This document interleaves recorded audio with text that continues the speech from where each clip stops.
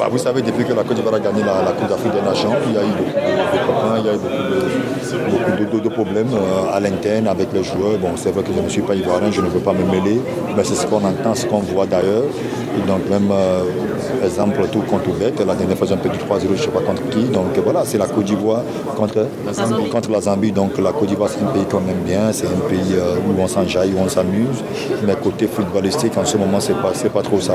bon, j'espère qu'avant la Cannes, vous allez trouver une solution, trouver comment faire pour faire avancer encore les choses. Bon, le temps le temps de Roba, le temps d'Yaya Touré, c'est d'autres générations. Hein. Maintenant, il y a, il y a les Wifri, les Serge. Maintenant, c'est à eux d'assumer l'intérim et c'est à eux de faire un bon boulot pour la Côte d'Ivoire.